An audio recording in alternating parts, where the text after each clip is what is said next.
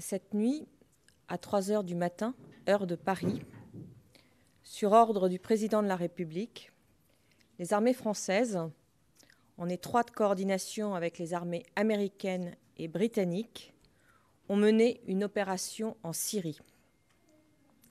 Cette opération visait des objectifs appartenant au programme chimique clandestin de la Syrie. Le principal centre de recherche de ce programme et deux importants sites de production ont été frappés. Au travers de ces objectifs, c'est la capacité de développer, de mettre au point, de produire des armes chimiques de la Syrie qui est atteinte.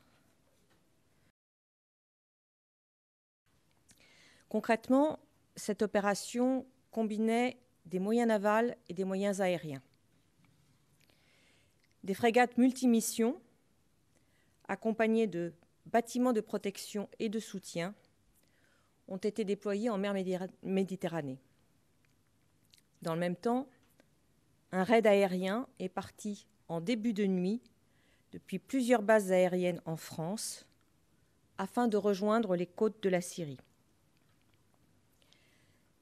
Ces différents moyens ont tiré de manière parfaitement coordonnée des missiles de croisière sur les objectifs prévus, ceci en étroite synchronisation avec nos alliés américains et britanniques.